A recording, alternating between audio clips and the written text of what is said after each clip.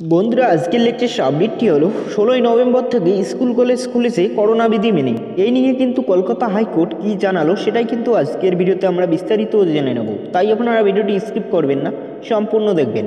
চ্যানেলে নতুন হয়ে থাকলে চ্যানেলটি অবশ্যই সাবস্ক্রাইব করে বেল আইকনটি অল করে রাখবেন, তাহলে আপনার কোনো ভিডিও মিস হবে না, সবার আগে পেয়ে যাবেন। এখানে দেখতে পাচ্ছেন, ষোলোই নভেম্বরেই খুলছে স্কুল করোনা বিধি মেনে হবে ক্লাস জানিয়ে দিল কলকাতা হাইকোর্ট। রাজ্য সরকারের পূর্ব ঘোষণা মতো ষোলোই নভেম্বর থেকে স্কুল খোলায় কোনো বাধা নেই বলে জানিয়ে দিল কলকাতা হাইকোর্ট। তবে স্কুল খুললেও করোনা বিধি মেনেই হবে ক্লাস।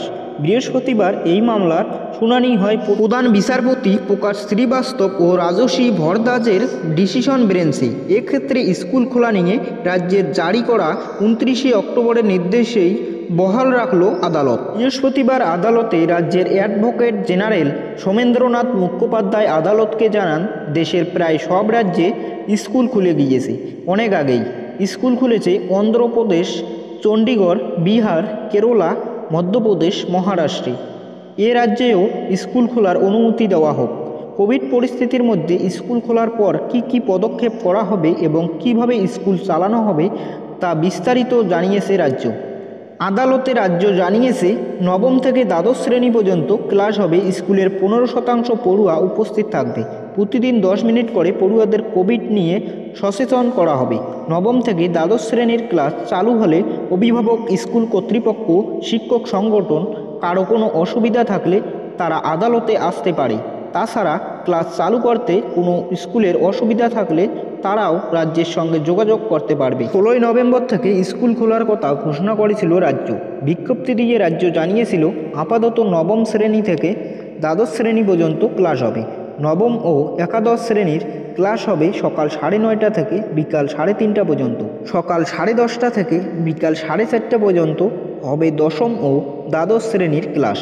এই সময়কালে স্কুলগুলিতে যথাযথ করোনা বিধি মেনেই চলবে পড়াশোনা। কিন্তু পড়ুয়াদের স্বাস্থ্যের কথা চিন্তা করেই একটি জনস্বার্থ মামলা হয় কলকাতা হাইকোর্টে। সোমবার মামলাটি করেন আইনজীবী সুদীপ ঘোষ চৌধুরী। আদালতে তিনি আবেদন করেন, করোনা পরিস্থিতির মধ্যেই স্কুল খুলেছে রাজ্যে।